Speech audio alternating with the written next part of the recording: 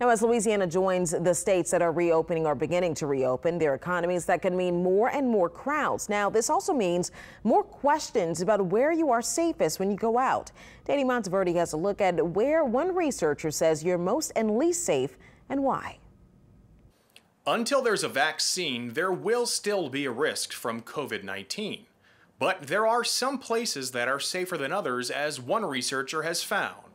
Dr. Erin Bromage at the University of Massachusetts Dartmouth studies immune systems. He's analyzed a lot of data about COVID 19 and has a few key points. Restaurants and offices are where the virus can probably spread a little more easily. That's because you're seated for a long time around a lot of other people, and if someone in that group has the virus, it might be recirculating in the air.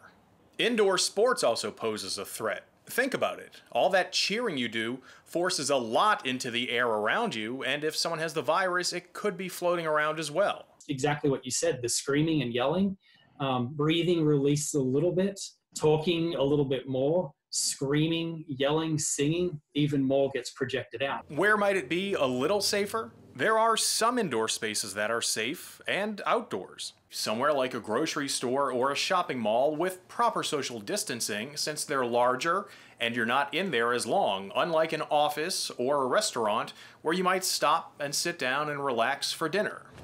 Outside is also generally a safe place. That's because it's just harder for the virus to try to latch onto someone. You have to put, you know, biology mitigation methods in place to slow the spread of this down, um, and so that everybody can then participate in the economy. As Bromage says, if you don't solve the biology, the economy won't recover. Danny Monteverde, Eyewitness News.